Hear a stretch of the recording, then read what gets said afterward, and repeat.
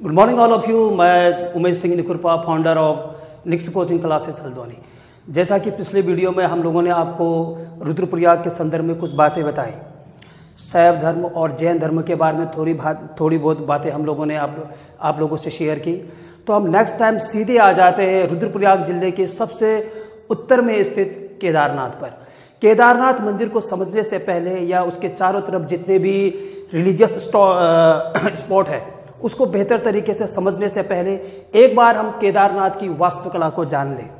मतलब केदारनाथ का जो मंदिर है उसका स्ट्रक्चर किस तरह से है? वो कौन सी शैली का है? उसमें क्या क्या चीज़ें हैं?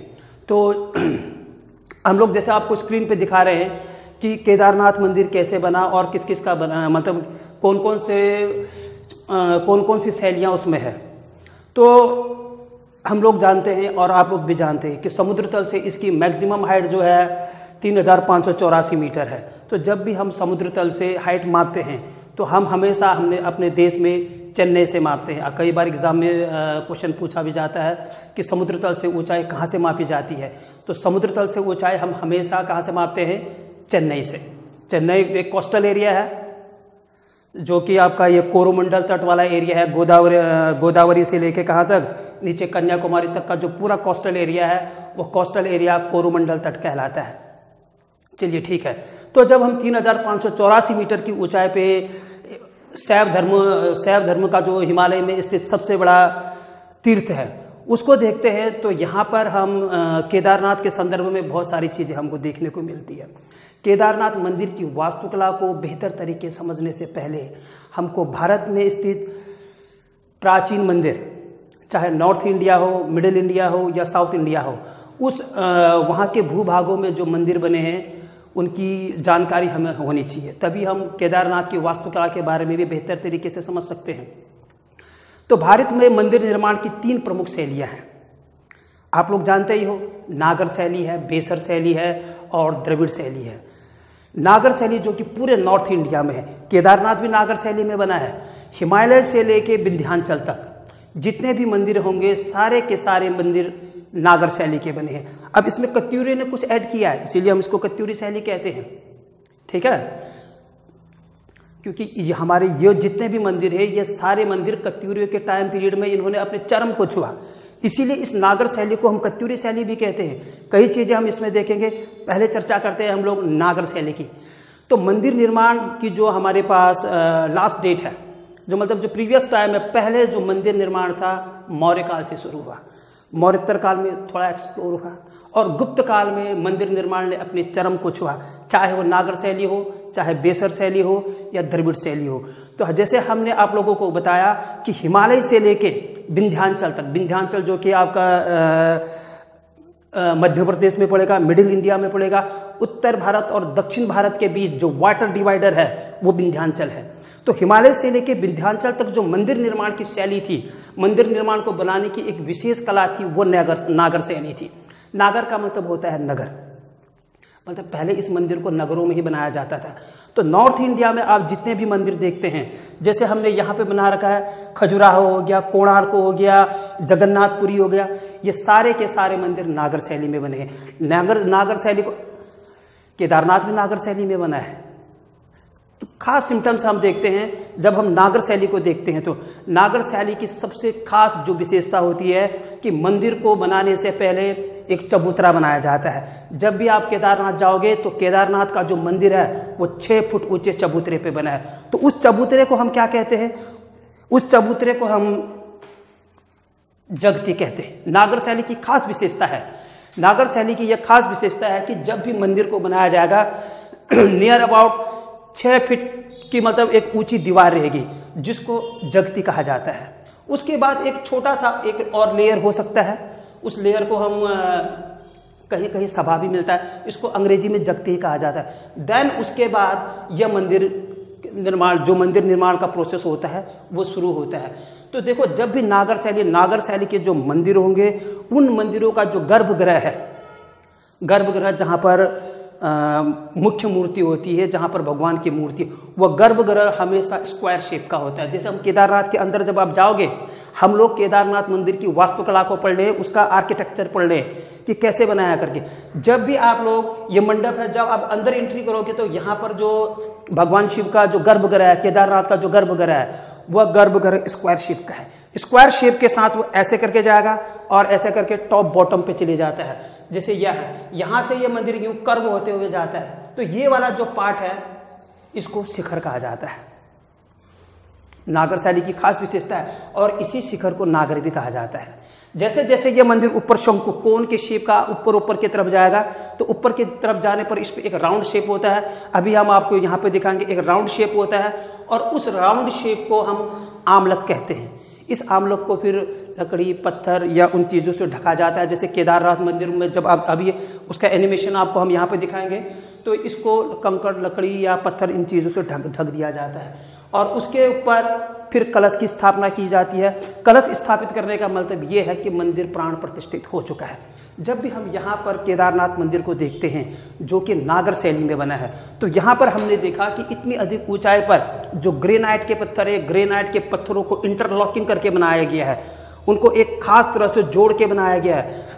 आपको जान के आश्चर्य होगा कि टोटल लेंथ जो जो मतलब टोटल इसकी लंबाई है मंदिर की 187 फीट है, ठीक है? और जो इसकी मतलब चौड़ाई है, वो 80 फीट है और केदारनाथ मंदिर की ऊंचाई बेस से लेके आधार से लेके टॉप तक पिचासी फुट है। और केदारनाथ केदारनाथ मंदिर की जो दीवारें हैं, जो ग्रेनाइट के जो मंदिर हैं, जो दीवारें हैं, वो करीब बारह फुट चौड़ी, बारह फुट मोटाई लिए हुए है। तो नागर शैली की हम ये खास बात देखते हैं। नागर शैली में मुख्य रूप से हम लोग क्या देखते हैं? मंदिर एक चबूतरे पे होता है। और मंदिर का जो गर्भगृह होता है, वो स्क्वायर शेप का होता है और जो मंदिर जब वो नीचे से आधार से टॉप की तरफ़ जाता है तो वो बिल्कुल कोन के आकार का हो जाता है और वहाँ पर एक राउंड शेप होता है। और उसी राउंड शेप के ठीक नीचे भगवान का, भगवान की मूर्ति या भगवान को प्राण प्रतिष्ठित किया जाता है, जिसको हमने आमलक कहा। यह आमलक आमलक के ऊपर फिर हम लोगों ने देखा, केदारनाथ में देखा, देखोगे आप केदारनाथ में ऊपर ऊपर एक लकड़ी का बरामदा जैसा स्ट्रक्चर होता है, जिस जो कि कत्यूरी शैली की देन है, जिसको हम छत्रयुक्त मतलब छत्रयुक्त मंदिर भी कहते हैं इसके। देन उसके बाद कलश की स्थापना होगी। तो यहाँ पर आप लोग एनिमेशन में देख सकते हैं कि कैसे केदारनाथ मंदिर को बनाया गया है। यह मंदिर ग्रेनाइट के पत्थरों से बना है और इंटरलॉकिंग सिस्टम से बना है। तो आप लोग यहाँ पर देख सकते हो कि कैसे बना है। आपको ग्रेनाइट के पत्थर जुड़ते हुए दिखेंगे और चार बेसिक खंबे दिखेंगे आपको, जो कि मंदिर के आधार हैं। और ऊपर आपको एक गोल छिद्र जैसा दिख रहा है, वो छिद्र आमलक है और उस, उसके ऊपर फिर आपको एक छत्रयुक्त मंडप जैसा दिखाई देगा। देन उसके ऊपर कलश की स्थापना की जाती है। तो ये सारी प्रक्रिया हम इसके अंतर्गत देखते हैं। केदारनाथ का जो आर्किटेक्चर है, उसके अंतर्गत देखते हैं। तो कभी कभी हमारे जो हमारे जो बुक्स है, उन बुक्स में लिखा होगा कि केदारनाथ मंदिर जो है कत्यूरी शैली में बना है। नागर शैली एक्चुअली हमने बताया कि जो नागर शैली के मंदिर होंगे, वो मंदिर आपके हिमालय से लेकर विंध्याचल तक होंगे। कत्यूरी, कत्यूरियों के समय में ये आर्किटेक्चर नॉर्थ इंडिया में, खासकर मानस खंड वाले भूभाग और केदार खंड वाले भूभाग में इसने अपने आप, अपने चरम को छुआ। तो यहाँ पर जब हम देखते हैं कि कत्यूरियों ने नागर शैली में जो थोड़ी हेर बदल की, वो ये है कि छत्र युक्त और सीधे शिखर वाले तो जब भी हम कत्यूरीकालीन मंदिरों को देखते हैं तो उन मंदिरों में हमको दो स्ट्रक्चर देखने को मिलते हैं। जैसे छत्रयुक्त छत्रयुक्त को पैगौड़ा भी कहा जाता है, और शिखर युक्त छत्रयुक्त मंदिर बहुत ज़्यादा इंपॉर्टेंट है आपके एग्ज़ाम के लिए। जब भी आपके जस्ट एग्ज़ाम्पल के लिए, केदारनाथ हो गया, गोपेश्वर हो गया देवलगढ़ के मंदिर, रानीहाट के मंदिर इंपोर्टेंट बागेश्वर का जो मंदिर है, उसके ऊपर भी देखोगे आपको छत्र दिखेगा। जैसे केदारनाथ के मंदिर के ऊपर छत्र दिखता है, लाखा मंडल में भी जाओगे, लाखा मंडल के मंदिर में भी छत्र दिखेगा। और दूसरा जो कत्यूरीकालीन टाइप मंदिर है, वो शिखर युक्त है। जैसे आदि बद्री का हो गया, जोशीमठ का हो गया, द्वाराहाट का हो गया, जागेश्वर हो गया, कटारमल हो गया, बैजनाथ हो गया। तो इनके जो ये मंदिर है वो शिखर युक्त हैं। जो केदारनाथ है गोपेश्वर है देवलगढ़ है रानीहाट है बागेश्वर है लाखा मंडल है इनका जो शिखर है इनके शिखर के ठीक ऊपर आपको एक छत्र टाइप का स्ट्रक्चर मिलेगा जो यहाँ पर कत्यूरी कला के दो टाइप को दिखाता है। तो ध्यान देना है जो कत्यूरियों की वास्तुकला है वो दो टाइप की है, है नागर शैली थोड़ी सी मतलब उन लोगों ने फेर बदल की है। तो दो तरह के कत्यूरी जो कत्यूरी मंदिर शैली है वो दो तरह के हैं। एक छत्रयुक्त पैगोडा, जिसकी लिस्ट मैंने अभी बताया आपको, और दूसरा है शिखर युक्त। तो इस तरह से हम देखते हैं कि भारत में मंदिर निर्माण की तीन प्रक्रियाएँ थी। उन तीन प्रक्रियाओं में से नागर शैली पूरे उत्तर भारत में है। और द्रविड़ शैली द्रविड़ शैली आपका पूरा साउथ इंडिया साउथ इंडिया में चलता है पूरे साउथ इंडिया में चलता है।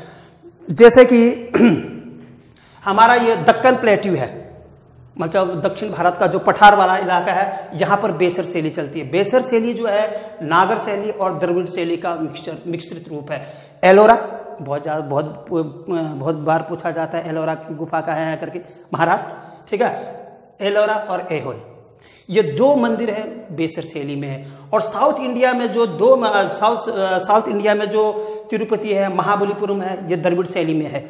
तो उत्तराखंड में भी बहुत सारे मंदिर द्रविड़ शैली के हैं। जैसे टिहरी में रघुनाथ का मंदिर। टिहरी में रघुनाथ का जो मंदिर है, वो द्रविड़ शैली का है। कुछ खास चीज़ें हम आपको यहाँ पे बता दें। एक मिनट। ये, द्रविड़ शैली। अब देखो, हमने नागर शैली की खास विशेषता हमको मालूम चल गई कि जो भी नागर शैली है, उसमें जगती होगा, ठीक है? उसमें जो मंदिर होगा, वो कौन शिफ्ट का होगा। मतलब जो बेस से लेके ऊपर और खास बात मंदिर का जो प्रवेश द्वार है मंदिर के प्रवेश द्वार से पहले नागर शैली में मंडप होता है। और इसी मंडप में हवन प्राण हवन हो गया और पूजा पाठ सारी चीज़ें होती है। कभी कभी ये मंडप दो भागों में बटा रहता है। इसको मंडप और दूसरा उपमंडप भी कहते हैं। सारी जिस केदारनाथ में भी मंडप है पहले मंदिर के एंट्री गर्भगृह में जाने से पहले जो आ, मंदिर का आगे वाला भाग है ये वाला भाग केदारनाथ का ये मंडप कहलाता है। देन इसके बाद गर्भगृह आएगा। ठीक है? तो ये नागर शैली की विशेषता है। तो जब हम द्रविड़ शैली को एग्जामों में पूछ लिया जाता है द्रविड़ द्रविड़ शैली के मंदिरों की खास विशेषता ये होती है कि मंदिर जितना भव्य मंदिर होगा, उससे ज़्यादा भव्य उसका गोपुरम होता है। मंदिर का जो शिखर होगा, वो पिरामिड के आकार का होगा और सीढ़ी नुमा स्ट्रक्चर का होगा। ठीक है, जैसे आप रघुनाथ मंदिर को देख लेना, साउथ इंडिया में महाबलीपुरम और बृहदेश्वर और तिरुपति बालाजी को देखिए, उनका जो शिखर होता है, उनका शिखर सीढ़ी नुमा होता है, पिरामिड के शेप का होता है। यहाँ पर जो गोपुरम है, गोपुरम की भव्यता से ही मंदिर की भव्यता मतलब हाईलाइट होती है। जितना मंदिर भव्य होगा, उतना ही ज़्यादा गोपुरम होगा। गोपुरम नागर शैली में नहीं मिलता है। केदारनाथ के आगे आपको गोपुरम नहीं देखोगे। केदारनाथ के मंदिर के आगे जस्ट मंडप होता है। और और उसके बाद परिक्रमा स्थल होता है, नागर शैली में, ठीक है? तो यहाँ पर खास चीज़ देना है जो नागर शैली और द्रविड़ शैली में जो खास डिफरेंस है, वो डिफरेंस ये है कि नागर शैली में गोपुरम नहीं होता है, जैसे केदारनाथ के आगे गोपुरम नहीं है, लेकिन द्रविड़ शैली में जो महाबलीपुरम है, तिरुपति है, बृहदेश्वर है, इनके आगे गोपुरम होता है। मतलब मंदिर जितना भव्य होगा, मंदिर का गेट उससे और ज़्यादा भव्य होगा। तो गोपुरम की भव्यता जो है, मंदिर की भव्यता को दिखाती है।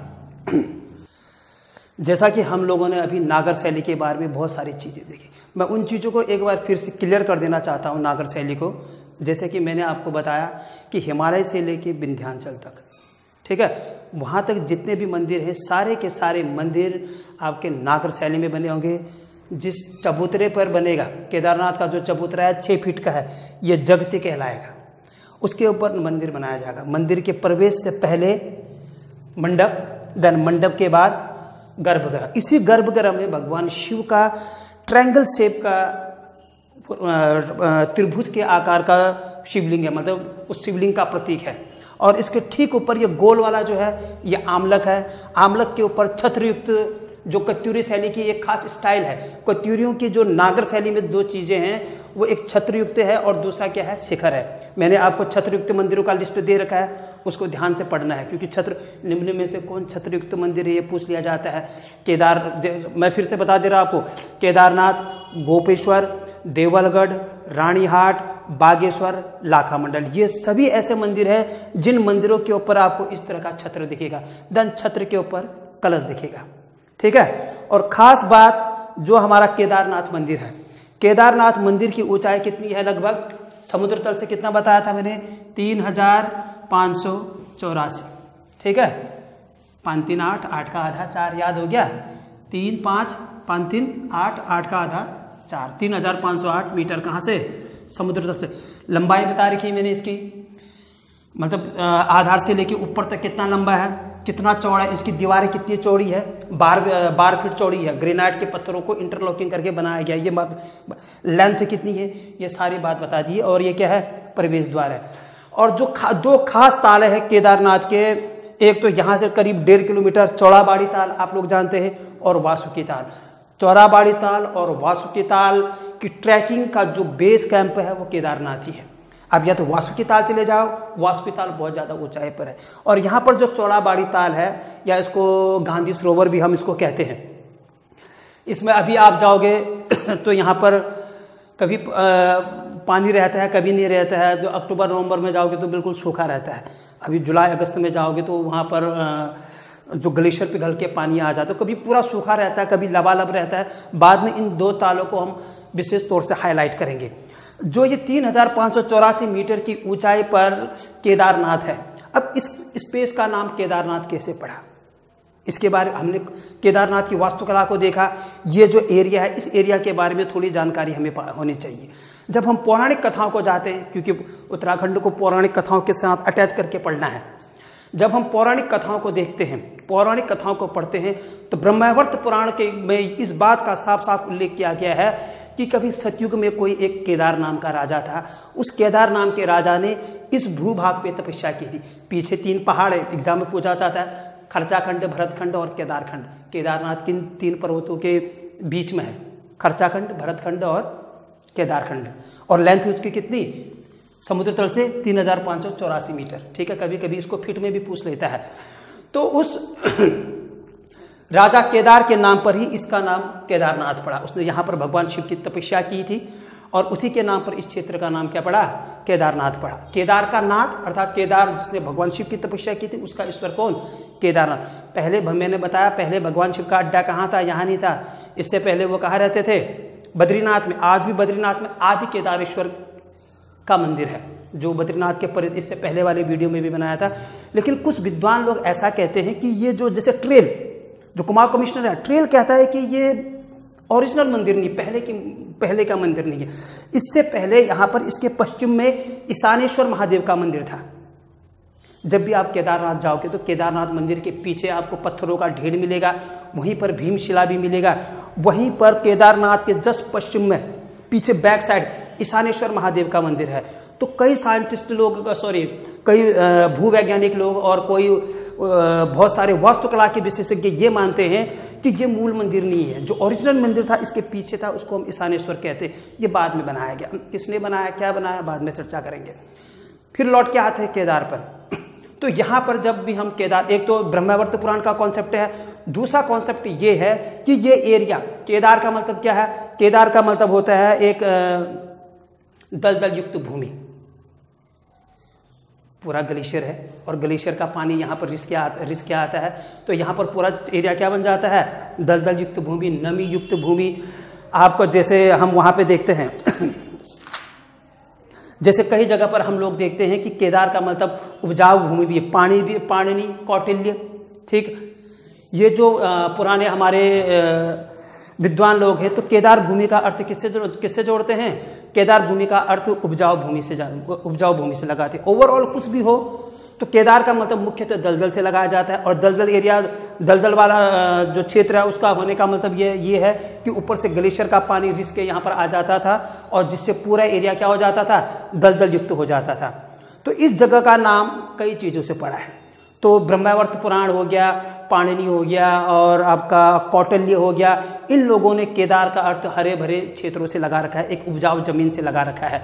तो ओवरऑल कुछ भी हो, लेकिन हम केदार केदार के कॉन्सेप्ट को समझ गए। केदार का एक कॉन्सेप्ट दलदल वाला एरिया और दूसरा हरा हरा, हरी हरी मतलब जो हरी ज़मीन है, उपजाऊ ज़मीन है, इससे हम लगाते हैं। तो जब भी हम केदारनाथ को पढ़ेंगे तो केदारनाथ का हम लोगों ने थोड़ा बैकग्राउंड देखा था, उसका आर्किटेक्चर देखा, नागर शैली में निर्मित निर्मित हुआ था, और दूसरा वासुकी ताल और चौराबाड़ी ताल। इन दो तालों को याद रखना है। चौड़ाबाड़ी ताल तो आपको याद होगा, वासुकी ताल। तो वासुकी ताल और चौड़ाबाड़ी ताल की जो ट्रैकिंग होगी, वो यहीं से होगी, केदारनाथ से ही होगी। तो कुछ जानकारी हम लोग अभी देते हैं। जब हम केदारनाथ की वास्तुकला की बात करते हैं तो थोड़ा पुराणों में देखते हैं। पौराणिक कथाओं के अनुसार केदारनाथ मंदिर का निर्माण पांडवों के द्वारा किया गया था। कुछ लोग ऐसा कहते हैं कि पांडवों के जो वंशज है, जन्मेजय के द्वारा भी इस मंदिर का निर्माण किया गया था, चाहे ओवरऑल किसी कोई भी हो। लेकिन एक बात यहाँ पर ध्यान देना है कि शंकराचार्य के आने से पहले यहाँ पर इस मंदिर का अस्तित्व था। क्योंकि शंकराचार्य जब हिंदू धर्म के पुनरुत्थान के लिए पूरे भारत का भ्रमण किया, जो उनकी दिग्विजय यात्रा थी, वो यहीं पे आकर समाप्त होती है, केदारनाथ पे आकर ही समाप्त होती है। तो केदारनाथ मंदिर का जो रिकंस्ट्रक्शन है वो रिकंस्ट्रक्शन आपका शंकराचार्य के द्वारा किया गया। तो आ, आज भी जब केदारनाथ मंदिर के पीछे पहले उत्खनन किया गया जो पत्थरों का ढेर था जब उसको हटाया गया बैक साइड में केदारनाथ मंदिर के तो वहाँ पर हमें केदार शंकराचार्य की समाधि मिली। तो शंकराचार्य की समाधि भी यही है। महापंडित राहुल सांकृत्यानंद कहते हैं कि इसका जो टाइम पीरियड है ये जो मंदिर है इस मंदिर का टाइम पीरियड ग्यारहवीं से बारहवीं सदी के मध्य है। तो सभी लोगों का अपना कॉन्सेप्ट है। अब एग्जैक्ट मालूम नहीं है कि मंदिर कब बना, लेकिन ट्रेन ने कहा है कि ये ओरिजिनल मंदिर नहीं है। ये आधुनिक समय में बना हुआ मंदिर है। इससे पहले यहाँ एक कोई और मंदिर था, मैंने बताया। वो मंदिर आपका कौन था? ईशानेश्वर महादेव का मंदिर। अब शिव प्रसाद डबराल जी का यहाँ पर कॉन्सेप्ट बहुत अच्छा है। डबराल जी कहते हैं कि ये मंदिर करीब पाँचवीं या छठी शताब्दी की है। उनको यहाँ पर भोटियाओं का एक भोटिया भूमि लिपि का एक वो भी मिला था एक प्रस्तर लेख मिला था, एक लेख इस मंदिर में कई सारे अभिलेख मिले थे। लेकिन यहाँ पर घी का लगातार घी पूजा पाठ तेल होने से मतलब लगातार पूजा पाठ और घी का, घी चंदन का लेप होने से यहाँ पर जो अभिलेख है, शिलालेख है, वो सब मिट गए। आप भी जब केदारनाथ जाओगे तो उसका जो ये जगती है, जो सीढ़ी है, उस सीढ़ी में ब्राह्मी लिपि में कुछ लिखा गया है, साइड की तरफ़। लेकिन अब वो बहुत ज़्यादा घिस चुका है, उसको पढ़ने में थोड़ी प्रॉब्लम होती है। तो यहाँ पर दो लोगों का कॉन्सेप्ट इम्पोर्टेंट है। एक महापंडित राहुल सांकर सांकृत्यानंद इसको ग्यारहवीं, बारहवीं सदी की मानते हैं। तभी हम इसको, इससे कनेक्ट कर देते हैं। कत्यूरे से कनेक्ट कर देते हैं। और दूसरा जो हमारे शिव प्रसाद डबराल जी हैं। डबराल जी के अकॉर्डिंग ये पाँचवीं पाँचवीं छठी शताब्दी का बना हुआ है। तो इन सभी चीज़ों को हम ओवरऑल लेते हैं। तो नेक्स्ट वीडियो में हम थोड़ा केदारनाथ को और ज़्यादा एक्सप्लोर करेंगे। केदारनाथ के चारों चारों तरफ़ जो जो भी रिलीजियस पॉइंट है, जो भी धार्मिक स्थल है, जित, बहुत सारे कुंडे हैं इसके अगल बगल उन सब की चर्चा करेंगे। केदारनाथ को अभी बरकरार रखेंगे। केदारनाथ की बैक भगवान शिव की बैक हिस्ट्री देखी हम लोगों ने, और यहाँ पर जो केदारनाथ मंदिर है, केदारनाथ मंदिर की वास्तुकला को देखा, और अगल बगल के स्पॉट देखे। अगल बगल के स्पॉट नेक्स्ट वीडियो में हम वासुकी ताल को वासुकी ताल हो गया, चोरावाड़ी ताल हो गया, और इसके अगल बगल जो रुद्र कुंड है शिव कुंड है हंस कुंड है, तथा तो रेतस कुंड है, और इस ईशान कुंड है, श्रीशिला है, बहुत सारे स्पॉट हैं, केदारनाथ के अगल बगल उस चीज़ को लेंगे। ठीक है? चलो, ठीक है नेक्स्ट वीडियो में मिलते हैं।